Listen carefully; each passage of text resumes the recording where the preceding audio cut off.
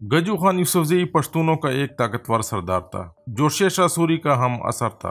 उसका मगरब में निनगरहार और कोनड़ से लेकर मशरक में मरगले की पहाड़ियों और गकड़ इलाके तक और शुमाल में स्वाद से लेकर जनूब में कोहाड़ तक असर और गलबा था। तवारीख हाफिज रहमत खानी के मुताबिक वो अपने झंडे तले मुख्तलिफ़ कबाइल से एक लाख चालीस हज़ार जंगजू जमा कर सकता था।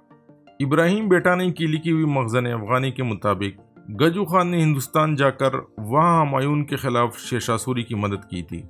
लेकिन बाद में दोनों के ताल्लुकात ख़राब हो गए। तारीख खान जहान लोदी के मुताबिक गजू खान शेषासुरी की मुखालिफत करता था और अपने आप को शेषासुरी का हम पला समझता था। शायद ये गजू खान की मुखालिफत और अदम ताउन ही थी, जिसकी वजह से शेषासुरी ने पख्तनख्वा पर हुकूमत करने की कोशिश नहीं की।